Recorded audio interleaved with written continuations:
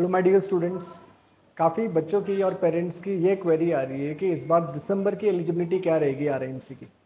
तो दो पैरामीटर्स में मैं बात करूँगा। एक तो एजुकेशन वाइज और एक एज वाइज एजुकेशन वाइज अगर बच्चा क्लास सिक्स एंड अबव है तो बच्चा एलिजिबल है आर के लिए।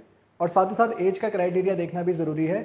अगर बच्चे की डेट ऑफ़ बर्थ 2 जुलाई 2012 से लेकर 1 जनवरी 2014 के बीच में लाई करती है या इंक्लूडिंग बोथ द डेट्स तो बच्चा एलिजिबल है आर के लिए। ठीक है? दोनों कंडीशन ज़रूरी है। सिक्स एंड अबव सिक्स से नीचे अगर फिफ्थ में है तो ही इज़ नॉट एलिजिबल और डेट ऑफ़ बर्थ का खाका देख लीजिएगा, वो विंडो बहुत इंपॉर्टेंट है। फिर से रिपीट करूँगा, दो जुलाई 2012 से लेकर एक जनवरी 2014 ओके और अगर आप ज़्यादा जानकारी चाहते हैं तो नीचे दिए गए नंबर्स पर संपर्क करें। कोई कन्फ्यूज़न नहीं होना चाहिए। All the best